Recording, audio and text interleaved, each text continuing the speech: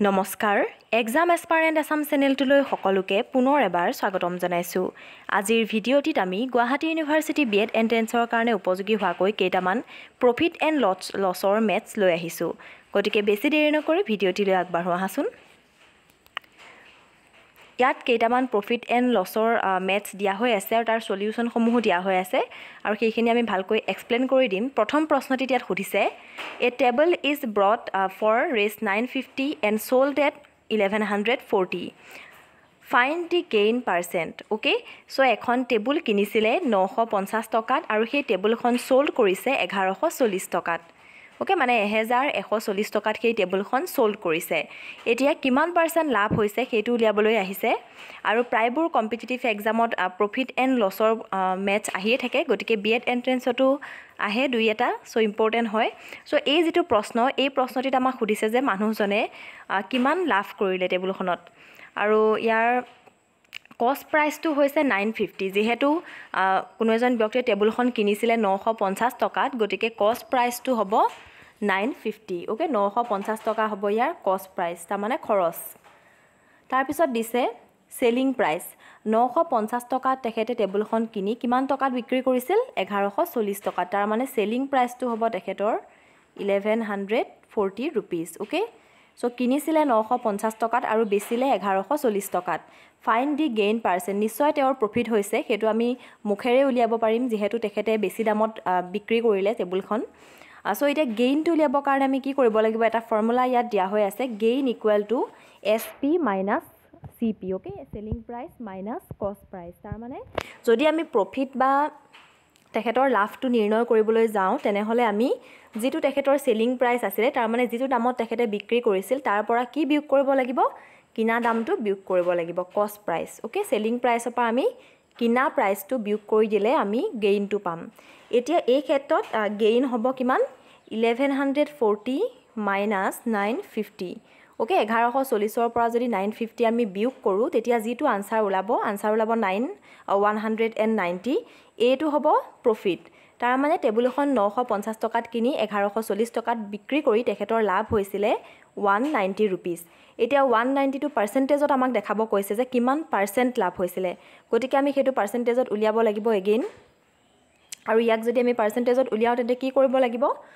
গেইনৰ percentage উলিওৱাৰ এটা formula আছে। সেই ফৰ্মুলাটো হৈছে এইটো চাব পাৰে গেইন পাৰ্চেণ্ট ইকুৱেল টু যিখিনি গেইন হ'ল সেইটো ডিভাইডেড বাই নাইন ফিফটি তাৰমানে divided by cost price into one hundred okay so' এইটো হৈছে gain পাৰ্চেণ্টৰ formula gain divided by C P into one hundred এনেধৰণে যদি আমি কৰোঁ তেতিয়া কিমান পাৰ্চেণ্ট লাভ হ'ল সেইটো আমি উলিয়াব পাৰিম। চ' এনেদৰে কৰিলে ইয়াত আমাৰ ওলাব কিমান হ'ব গেইন পাৰ্চেণ্ট যিহেতু তেখেতৰ প্ৰফিট হৈছিলে ওৱান নাইণ্টি প্ৰফিট বা গেইন হৈছিলে ওৱান নাইণ্টি আৰু তেখেতৰ কষ্ট প্ৰাইচ আছিলে নাইন ফিফটি আৰু ফৰ্মুলা মতে ইয়াত এটা হাণ্ড্ৰেড ইনটু হ'ব। অ'কে এনেদৰে কৰিলে আমাৰ আনচাৰটো কি ওলাব? টুৱেণ্টি ওলাব। অ'কে টুৱেণ্টি পাৰ্চেণ্ট এনেদৰে যদি আমি কৰি যাওঁ তেতিয়া ফাইনেলি আমাৰ আনচাৰ ওলাব টুৱেণ্টি তাৰমানে টুৱেণ্টি পাৰ্চেণ্ট তেখেতৰ লাভ হ'ল। অ'কে চ' নিশ্চয় এইখিনি ক্লিয়াৰ হ'ল আৰু প্ৰফিট এণ্ড লছৰ মেথছখিনি কৰিবৰ কাৰণে আমাৰ কিছুমান ফৰ্মুলা আছে। সেই ফৰ্মুলাখিনি যদি আপোনালোকৰ মনত থাকে তেনেহ'লে ইমান টান নহয় প্ৰফিট এণ্ড লছৰ মেথছ ফৰ্মুলা মতে পুট কৰি গ'লে সকলোখিনি মিলি যায় আৰু আনচাৰটো ওলাই যায়। চ' ইজিয়ে হয়। ইয়াত গেইন পাৰ্চেণ্টৰ ফৰ্মুলাটো তলত দিয়া হৈ আছে। নেক্সট প্ৰশ্নটোলৈ আগবাঢ়োঁ। A man brought a watch race 250 and he sold the watch at race 190. Find out the amount of loss and its percentage okay তেনেই সহজ মেথছ হয় এইটো। বহুতেই হয়তো কমেণ্ট কৰি ক'ব পাৰে যে একেবাৰে বেছিক লেভেলৰ প্ৰফিট এণ্ড লছৰ মেথছ হয়। যিহেতু সকলোৰে হয়তো কনচেপ্টবোৰ কনচেপ্টবোৰ ক্লিয়াৰ নহ'ব পাৰে প্ৰফিট এণ্ড লছৰ হয়তো কিছুমানে ইমান ভালকৈ নাজানিব পাৰে। চ' সেইকাৰণে মই বেছিকৰ পৰা আৰম্ভ কৰিছোঁ। একেবাৰে যদি টান লেভেলৰ বা হাৰ্ড লেভেলৰ মেথছ আগতীয়াকৈ কৰি দিওঁ হয়তো বহুতৰে ডাউট ৰৈ যাব। সেইকাৰণে একেবাৰে বেছিক লেভেলৰ পৰা আৰম্ভ কৰিছোঁ। আগতেও আমি এজ ৰিলেটেড এটা মেথছৰ ভিডিঅ' দিছোঁ আৰু সেই ভিডিঅ'টিত সকলোৱে বুজি পাইছে বুলি কমেণ্ট কৰিছে সেয়ে ভাল লাগিছে। আৰু যিসকলৰ ডাউট আছে তলত কমেণ্ট কৰি ক'লে আমি আগলৈ ঠিক কৰি দিবলৈ চেষ্টা কৰিম তেওঁলোকৰ ডাউটসমূহ ক্লিয়াৰ কৰিবলৈ। চ' এই ভিডিঅ'টিতো যদি আপোনালোকৰ নুবুজা কিবা থাকে তেনেহ'লে তলত কমেণ্ট কৰি জনাই দিলে নেক্সট ভিডিঅ'ত আমি সেই কনফিউজনটো ক্লিয়াৰ কৰিবলৈ চেষ্টা কৰিম অ'কে চ' এই প্ৰশ্নটিত সুধিছে এ man brought A ৱাটছ race two fifty and he cell the ৱাটছ at race one ninety চ' এজন লোকে এটা ঘড়ী কিনিলে দুশ পঞ্চাছ টকাত আৰু সেই ঘড়ীটো চেল কৰিলে ওৱান নাইণ্টি ৰুপিজত গতিকে মুখতে আমি উলিয়াব পাৰোঁ যে তেখেতৰ লছ হৈছে কাৰণ তেখেতে কিনিছিলে দুশ পঞ্চাছ টকাত আৰু বেচিলে তেখেতে এশ নব্বৈ টকাত। চ' তেখেতৰ লছ হৈছে। So' find out the amount of loss and its percentage so' তেখেতৰ কিমান পাৰ্চেণ্ট লছ হ'ল উলিয়াব লাগে আৰু কিমান লছ হ'ল।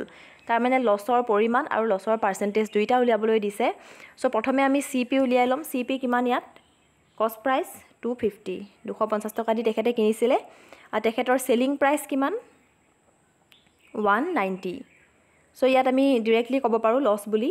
দেন লছ উলিয়াবলৈ আমি কি কৰিব লাগিব? ইয়াত দি দিছে ফৰ্মুলাটো loss equal to C P minus S P যিদৰে প্ৰফিটত গেইনত কি আছিলে? S P minus C P ঠিক তেনেদৰে লছত হ'ব C P minus S P তাৰমানে কষ্ট প্ৰাইচটো বেছি হৈ যায় লছত চেলিং প্ৰাইচতকৈ সেইকাৰণে চি পিটো আমি আগতীয়াকৈ বঢ়াব লাগে। অ'কে চ' ইয়াত C P minus S P কৰিলে কিমান ওলাব two fifty minus one ninety answer হ'ব ছিক্সটি তাৰমানে তেখেতৰ ষাঠি টকা লছ হৈছে। তেখেতে ঘড়ীটো কিনিছিলে দুশ পঞ্চাছ টকাত আৰু বিক্ৰী কৰিছিলে এশ নব্বৈ টকাত। চ' তেখেতৰ লছ কিমান হ'ল? ষাঠি টকা। আৰু এই ষাঠি টকাটোক যদি আমি পাৰ্চেণ্টেজত দেখাব বিচাৰোঁ যে পাৰ্চেণ্টেজ লছ কিমান হ'ল আমি কেনেদৰে কৰিব লাগিব? ইয়াত ফৰ্মুলাটো দিয়া হৈ আছে। যিদৰে গেইনৰ পাৰ্চেণ্টেজ উলিওৱা এটা ফৰ্মুলা আছিল ঠিক তেনেদৰে লছৰ পাৰ্চেণ্টেজ উলিওৱা ফৰ্মুলাটো ইয়াত দি দিছে। Loss divided by C P into one hundred এইটো হৈছে পাৰ্চেণ্টেজ লছৰ ফৰ্মুলা এতিয়া লছ কিমান হৈছিল আমাৰ ছিক্সটি ৰুপিজ তেখেতৰ চি পি কিমান আছিল বা কষ্ট প্ৰাইচ কিমান আছিল? টু ফিফটি আৰু এইপিনে ফৰ্মুলাৰ হাণ্ড্ৰেডটো আহি যাব। অ'কে আৰু এইটো যদি আমি কেলকুলেশ্যন কৰোঁ তেতিয়া আমাৰ আনচাৰটো কিমান ওলাব? Twenty four okay so' answer ওলাব twenty four okay so' twenty four percent loss কৰি তেখেতে ঘড়ীটো বিক্ৰী কৰিলে। চ' নিশ্চয় ক্লিয়াৰ হ'ল। আগতে আগৰ মেথছটোত আমি প্ৰফিটৰ বিষয়ে চালোঁ আৰু এতিয়া এইটো লছৰ বিষয়ে চালোঁ। চ' নেক্সট মেথছটো আমি চাওঁ কেনে কেনেকুৱানো আছে। A chair is brought for Rs seven fifty and sold at a loss of six percent find its selling price so' এখন চকী কিনিছিলে তেখেতে ৰেচ ছেভেন ফিফটি সাতশ পঞ্চাছ টকাৰে আৰু sold at loss of six percent ছয় পাৰ্চেণ্ট লছ কৰি তেখেতে সেই চকীখন বিক্ৰী কৰিলে। ইয়াত কিমান কিমান লছ কৰিলে সেইটো নাম্বাৰটো দি দিয়া নাই ইয়াত পাৰ্চেণ্টেজটো দি দিছে যে কিমান পাৰ্চেণ্ট লছ হ'ল। তেখেতৰ ছয় পাৰ্চেণ্ট লছ হৈছে সেই চকীখন বিক্ৰী কৰোঁতে। ফাইন ইট চেলিং প্ৰাইচ তাৰমানে চেলিং প্ৰাইচটো আমাক এতিয়া উলিয়াবলৈ দিছে। তেখেতৰ কষ্ট প্ৰাইচটো হৈছে ছেভেন ফিফটি অ'কে সাতশ পঞ্চাছ টকাত তেখেতে যিহেতু কিনিছে চকীখন। আৰু লছ হৈছে কিমান তেখেতৰ? লছ হৈছে ছিক্স পাৰ্চেণ্ট ছয় পাৰ্চেণ্ট লছ হৈছে। গতিকে তেখেতৰ চেলিং প্ৰাইচ কিমান হ'ব? ইয়াত দিয়া হৈ আছে চেলিং প্ৰাইচ কিমান হ'ব? ছেভেন ফিফটিৰ নাইণ্টি ফ'ৰ পাৰ্চেণ্ট এইটো হ'ব তেখেতৰ চেলিং প্ৰাইচ যিহেতু ছিক্স পাৰ্চেণ্ট তেখেতৰ লছ হৈছে গতিকে ninety four percent of seven fifty তাৰমানে তেখেতে ছয় পাৰ্চেণ্ট এটা কমকৈ আমি হিচাপত ধৰিব লাগিব। গতিকে ইয়াত ধৰিছোঁ আমি নাইণ্টি ফ'ৰ অ'কে? যিহেতু হাণ্ড্ৰেড পাৰ্চেণ্ট নহয় তেখেতৰ selling price six percent loss হৈছে গতিকে ছিক্স এটা মাইনাছ কৰি দিলে আমাৰ নাইণ্টি ফ'ৰ পাৰ্চেণ্ট ওলাব। Ninety four percent of seven fifty seven ফিফটিৰ ninety four পাৰ্চেণ্টটো আমি উলিয়াব লাগিব। আৰু ইয়াৰ ফৰ্মুলাটো এনেকৈ বহোৱা হৈছে চাওক আপোনালোকে ninety four divided by one hundred into seven fifty. So' এনেদৰে যদি কৰোঁ আমি আনচাৰ ওলাব ছেভেন জিৰ' ফাইভ তাৰমানে তেখেতে কিনিছিলে সাতশ পঞ্চাছ টকাত আৰু বস্তুটো বিক্ৰী কৰিলে তেখেতে সাতশ পাঁচ টকাত। অ'কে নিশ্চয় ক্লিয়াৰ হ'ল এনেধৰণৰ যিসমূহ মেথছ আছিলে প্ৰফিট এণ্ড লছৰ চ' এই এইটো নিয়মত আমি কৰিব লাগিব আৰু ইয়াৰ ফৰ্মুলা কেইটামান মই শেষত এড কৰি দিছোঁ যাতে সহায় হয় পৰীক্ষাৰ সময়ত। গেইন উলিয়াব লাগিব আমি এনেধৰণে S P minus C P loss উলিয়াব লাগিব C P minus S P আৰু চি পি আৰু এছ পি মানে কি হয়তো জানিছে? চি পি মানে কষ্ট প্ৰাইচ আৰু এছ পি মানে চেলিং প্ৰাইচ অ'কে তাৰমানে বিক্ৰী দাম। এছ পি মানে selling price then gain percentage যদি প্ৰফিট বা গেইন কিমান হৈছে সেইটো পাৰ্চেণ্টেজত উলিয়াবলৈ দিয়ে তেনেহ'লে আমি কি ফৰ্মুলা ইউজ কৰিব লাগিব? Gain into hundred divided by C P okay gain into hundred divided by C P তাৰমানে gain divided by C P into hundred এই ফৰ্মুলাটো আমি কৰিব লাগিব যদি আমি পাৰ্চেণ্টেজ গেইনটো উলিয়াব লগা হয় অ'কে নেক্সট দিছে লছ পাৰ্চেণ্ট পাৰ্চেণ্টেজ লছ উলিয়াবৰ কাৰণে আমি একেধৰণৰ ফৰ্মুলা ইউজ কৰিব লাগিব জাষ্ট ওপৰত আমাৰ লছ হ'ব loss divided by C P into one hundred এইটো কৰিলে আমাৰ পাৰ্চেণ্টেজ লছটো আমি নিৰ্ণয় কৰিব পাৰিম। চ' এইখিনি আছিল প্ৰফিট এণ্ড লছৰ মেথছ আগলৈ আমি ইয়াতকৈ অলপ হাৰ্ড লেভেলৰ লৈ আহিবলৈ চেষ্টা কৰিম একেধৰণৰে। আৰু যিহেতু জি কে ছেকশ্যনৰ প্ৰায়বোৰ ভিডিঅ' আমি দিছোঁ Indian polity Indian history geography economy গতিকে এতিয়াৰ পৰা আমি মেথছখিনি আৰম্ভ কৰিছোঁ আৰু মেথছৰ যিখিনি ইম্পৰ্টেণ্ট টপিক হয় like time and work distance উলিওৱা সকলো ধৰণৰ টপিক আমি সামৰিবলৈ চেষ্টা কৰিম। তোমালোকৰ এক্সামৰ আগে আগে গতিকে আমাৰ চেনেলৰ লগত জড়িত হৈ থাকিবা। লগতে আজিৰ ভিডিঅ'টি চাই যদি ভাল পালা লাইক এটা কৰি দিবা। লগৰ বন্ধুবৰ্গলৈ শ্বেয়াৰ কৰি দিবা। আৰু যদি আমাৰ চেনেলত আজি প্ৰথম আহিছে তেন্তে প্লিজ চেনেলটি ছাবস্ক্ৰাইব কৰি দিবা আৰু কাষত থকা বেল আইকনটি প্ৰেছ কৰি দিবা। Thank you so much